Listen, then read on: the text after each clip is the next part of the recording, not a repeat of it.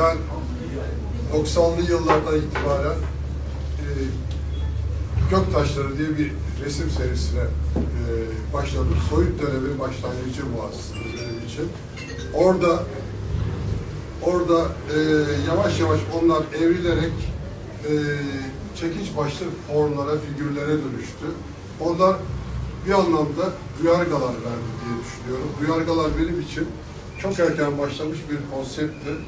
Ee, ne açıdan duyargalar önemli? Hepimizin kolları var, ayakları var, ne bileyim ulaşmak istediği, dokunmak istediği e, şeyler var.